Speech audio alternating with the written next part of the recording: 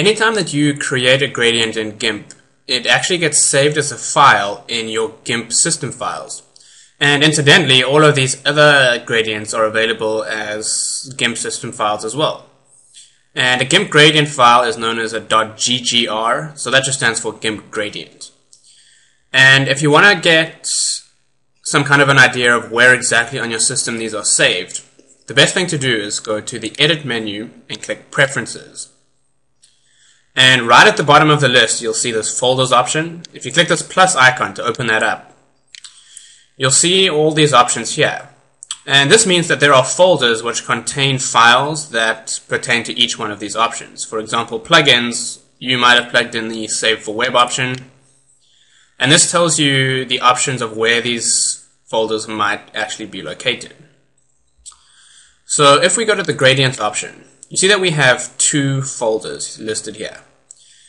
And what we're dealing with here is the writable folder. So the way it's set up now is that anytime you create a new gradient, as soon as you close GIMP, that gradient is going to be saved in this location, the one that's checked.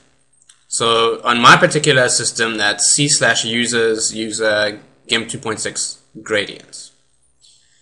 Incidentally, by default, all of these preset gradients that come with GIMP are actually located in the second folder. So that's c slash program files, etc., etc. For convenience sake, you might want to put them in both, or even put all of them in this folder. But I like to keep it in the default because then I have all my presets in one folder and all the gradients that I create in another. So just to show you how this can work, you can then go to either one of these locations. So if I go into my system to computer, C, and then we have users, user GIMP 2.6 and then gradients. And there we see unionjack.ggr. So that's exactly what we saved this gradient as. And note that you don't have to do anything special to save this. As soon as it's loaded in this list, this file is created.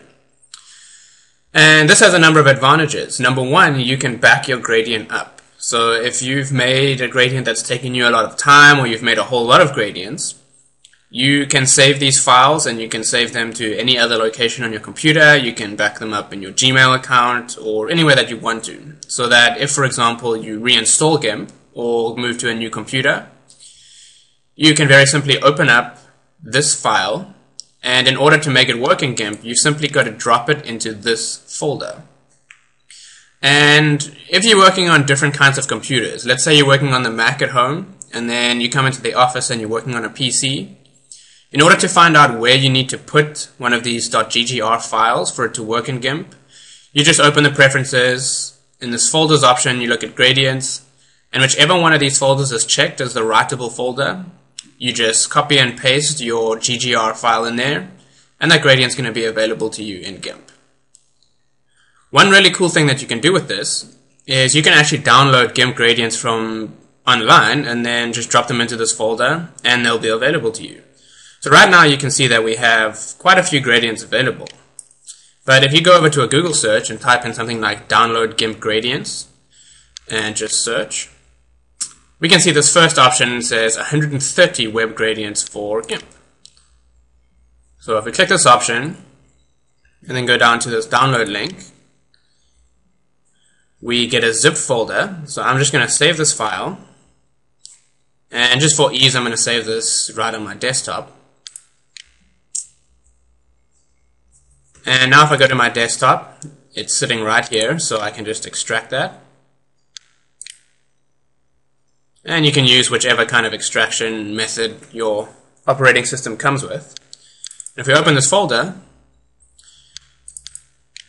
here you have this incredibly long list of all these different gradients. So if I simply click Control A to select them all, then I'm going to go copy and I go back to my GIMP gradients folder. And just remember, you can check where this is in your preferences. And now go edit paste.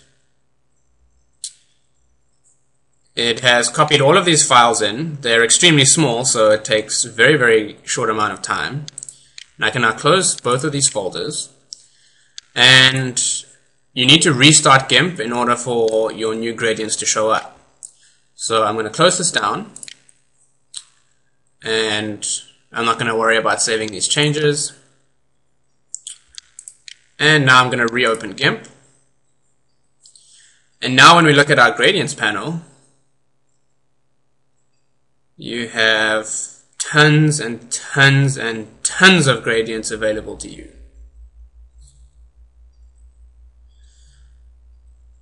So because gradients are so useful, this is an amazingly useful tool. Number one, because you can back up the gradients that you make, but also because you can find gradients for absolutely anything that you need, and you don't even have to make them yourself. Another absolutely great feature of being able to save these gradients as their own files is that they integrate excellently with a program called Inkscape. And there's a video series on that. So there's a similar folder in Inkscape, and if you simply paste these exact same files into the relevant Inkscape folder, all of these gradients are going to be uh, available to you in that application as well.